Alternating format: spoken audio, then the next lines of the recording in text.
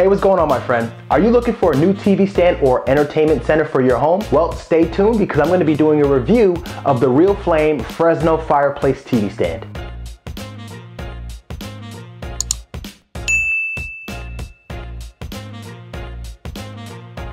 Hey guys, welcome back. NT here from Prime Spaces where we assemble all sorts of home and office furniture and equipment from the smallest to the most popular retail stores. So today I am reviewing the Real Flame Fresno electric fireplace TV stand. Now I've assembled a handful of other TV stands from Real Flame over the past few years and generally speaking they make quality furniture and assembly has been pretty straightforward without any snags or hiccups. This product will be reviewed and given a score of 1 through 10. There are 10 categories total and each category can earn up to one full point. So somewhere below this video or in the comment section, you can see the category list and beside each category, you can see the timestamp of where it's covered in this video in case you want to jump to specific categories that are most important to you. And for clarification, the overall score does not reflect just the quality of the furniture, but also the essential features and overall assembly experience. Now, before we get started, make sure to subscribe to this channel to catch all of our reviews and make sure to follow us on Instagram at prime underscore spaces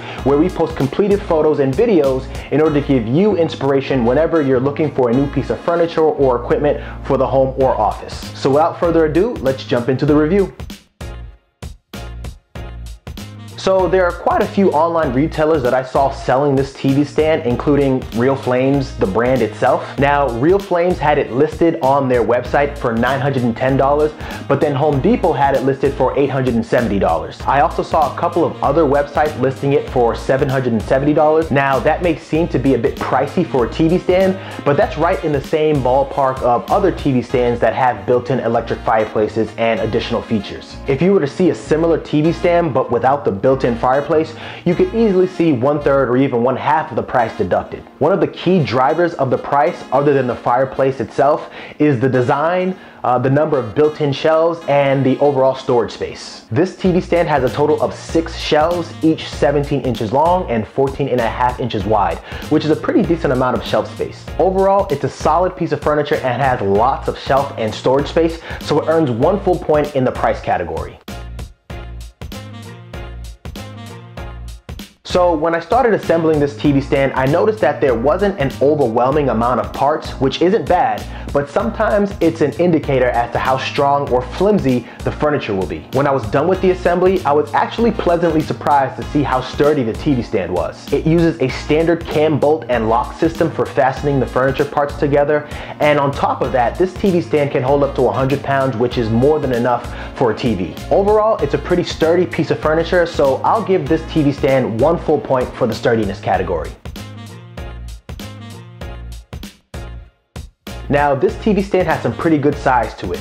It weighs about 153 pounds. It's about 71.73 inches wide, which is a little bit over a quarter of an inch shy of six feet. It's about 30 inches tall and about 19 inches deep, so it has a solid base and covers some pretty good space. Obviously, depending on how big your TV is, you may have some space on both sides of the TV to put stuff on it, like candles or picture frames. Now, you always want to consider how much floor space a piece of furniture will take up.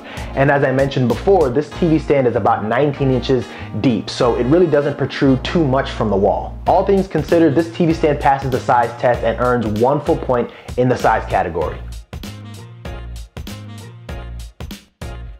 So this TV stand is made of solid wood, powder coated steel, and veneered MDF. But here's the thing, MDF is known to contain VOC, and VOC stands for volatile organic compounds, and these are a large group of chemicals which can cause irritation to the lung and eyes. Now, VOCs are found in many products used to build and maintain homes. The issue is these chemicals get released or off-gassed into the indoor air, it gets circulated, and you end up breathing it in. I'm not a doctor, and I don't know how likely you are or not to experience any health issues because of it. And I'm sure growing up, I had plenty of furniture made with MDF in my household. I had siblings, a mother and a father who, to my knowledge, never had any lung or eye issues, although more of us wear glasses than not. Anyway, I'm sure they regulate the amount of VOCs used in furniture, but in good faith, I can't give any points in the materials category for containing VOCs. They'll just have to earn it somewhere else. Now on a lighter note, this thing has the feature of all features for a TV stand, which is a fireplace with some really cool features. It can heat rooms up to 1000 square feet and it's got an adjustable thermostat so you can set your desired room temperature. You can also set a timer up to 9 hours. It's got 6 different flame colors to choose from and 5 different brightness levels for the flame. And best of all, it has a remote that you can control all of these features from. Also, don't forget, this TV stand has 6 shelves, each 17 by 14 and a half inches, which is also very functional. So for the features category, this TV stand earns one full point.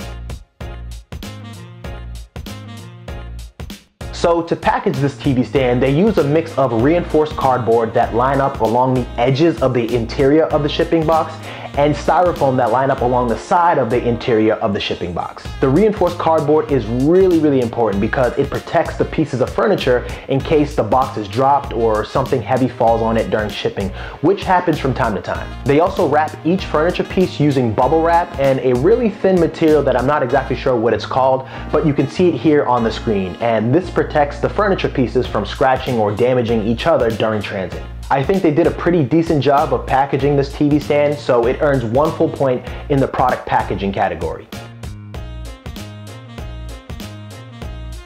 Now, hardware packaging plays a big role during the assembly process. What you really want to be able to do is move from step to step as fluidly as possible, and if the hardware is not sectioned off and already pre-organized, it will cost you time having to empty out the hardware and organize them yourself. And unfortunately, that was exactly the case for this hardware packaging. Now, the hardware parts didn't vary too much, and overall, there weren't that many individual pieces, so it didn't take too long to organize them. But still, it's nice to have the hardware already pre-organized because it saves you time. So this TV stand earns 0.75 or 3 quarters of a point in the hardware packaging category.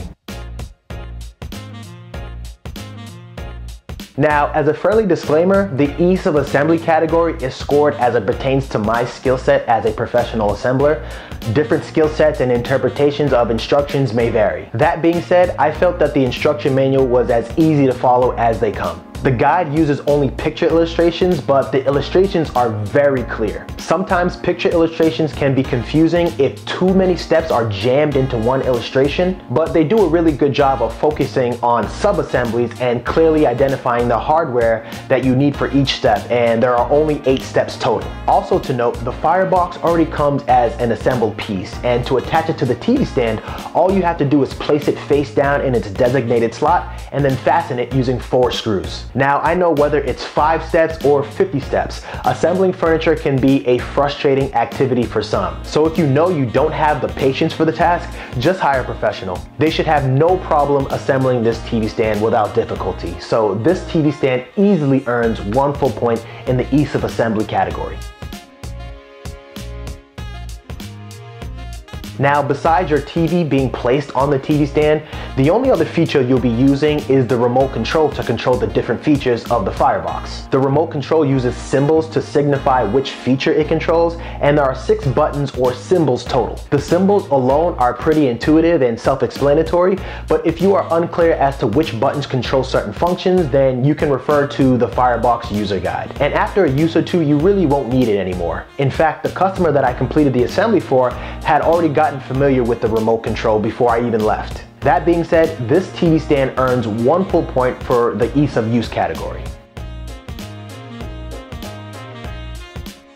Overall, the TV stand is about 155 pounds, which is pretty heavy. Now, obviously, you won't be able to pick this up and just move it without at least two strong people, maybe even three. However, I'd suggest sliding a furniture moving blanket or corner pads underneath the TV stand so you don't have to lift anything. I was able to partially lift each of the four corners of the TV stand in order to get a furniture moving blanket underneath the TV stand in order to push it into the desired location by myself. But of course, depending on your level of strength, you may need another or a couple of other people in order to push it. All things considered, this TV stand gets half a point for the portability category. So that concludes the review for this Real Flame Fresno electric fireplace TV stand, which got an overall score of 8.25 out of 10. And again, to be clear, this score does not reflect just the quality of the furniture, but also the essential features and overall assembly experience. So 8.25 is a really solid score. My biggest knock on the TV stand are the VOCs used to make the furniture pieces. Had there been no VOCs used, then this TV stand would have received a 9 or so out of 10. If you enjoyed this review, make sure to subscribe to this channel because it lets me know to continue making these review videos. And I also urge you to leave in the comment section any suggestions for other categories that you would like to be reviewed on a future video. And finally, make sure to follow us on Instagram at prime underscore spaces where we post pictures and videos of completed furniture and equipment assemblies to help give you the inspiration you need when choosing the right furniture or equipment for your home or office. Till our next build, peace and love.